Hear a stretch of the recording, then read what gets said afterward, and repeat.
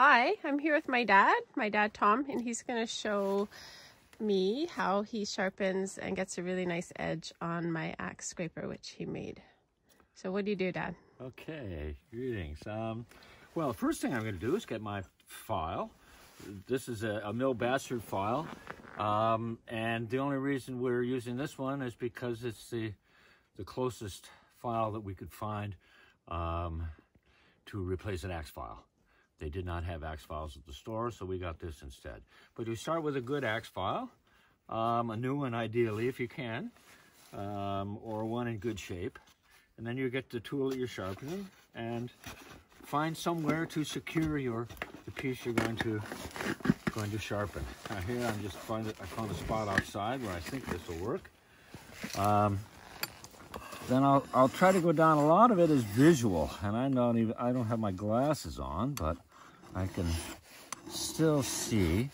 I try to go, when I make a stroke, I try to stroke the whole, unless I'm working on a particular, like a chip or something. If I'm just sharpening the whole edge, I'll try to make one stroke with the axe file um, to cover the length of the of the blade mm -hmm. of the surface to cut. Um, now it will I, I you, see, you, notice I'm wearing my gloves. It's not only because it's cold out, um, but also to protect my hand. Yeah, I've done that before. Gouged my thumb while oh, sharpening this. Yeah. Yep, it's easy to do, mm -hmm. and and you find you you get a rhythm and you get kind of used to doing it, and and sometimes we go and can do too much. Mm -hmm. um, or that's when we if we get carried away. That's when we we can get careless and and may cut ourselves. So I've, so I've taken some strokes on one side, and then I'll, I'll try to take the same number of strokes on this side. Um, now, typically, if I'm working on a, a blade and and uh, want to want to sharpen it, it's, it's, just been dulled from from use. I'll I'll um, I'll start with like five or ten strokes. I'll go mm -hmm. um, say ten strokes on one side, and I'll flip it over, and I'll do ten there and I'll flip it back and I'll do nine.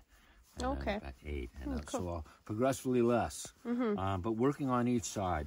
Each time I take a stroke like this, I remove steel from this side, but at the same time, I, I end up with a little bit of, um, well, it's it's iron the waste, a, a, little bit right? of waste material that kind of rolled over onto the other side. Yep. Okay. And that's why I need to, to try to attempt to do each, each side equally Evenly. to remove that that burr, if you will. So, um, basically sharpen like that, turn it over,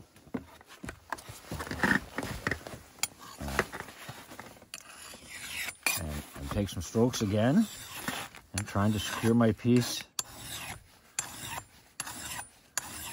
So this is my first side again. Now I can see, even without my glasses, I can see the progress I'm making on that edge. You get the light right and you, you watch what you're doing, you can actually see the, the progress of your, of your work with each stroke mm -hmm. on the edge of the, on the face of the, of the blade. Now I haven't tried this, mate. You you know how sharp this was before. Yeah? Mm -hmm. so, um, maybe I'll work it down a little bit and then you can try it. I'm just, I mean, the, the this looked fairly sharp to begin with, so. Mm -hmm. Yeah, I've been, I think I've been doing a decent job of, of keeping it. Of maintaining it, yeah. yeah. yeah.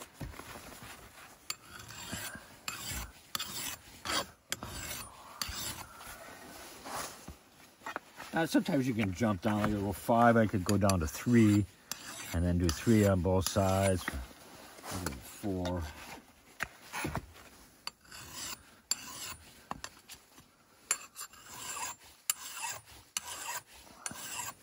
Um, ideally, you get, you get a handle on your file. Uh, the axe file that I mentioned earlier has got a bit of a handle on it. Um, mm -hmm. It's made for use freehand. Um, a file like this with a tang, um, they're made for uh, some kind of a handle. Okay. And it's, it's certainly much easier. Um, I would prefer to have a handle with this, but mm -hmm. but you can still do it. Yeah. Thanks. Okay. Yeah, we got you, Dad. Mm -hmm. Oh, yeah. Much better. Cool. Isn't that awesome? Um, So I've just taken a stab at using the technique that my dad went through and I'm thinking what I'm going to do as I am working on a hide like this. Um, maybe before I get started working on it, I'll do, I'll start from 10 and go down. Um, and then in between when I need to sharpen, I'll do five and count down from there.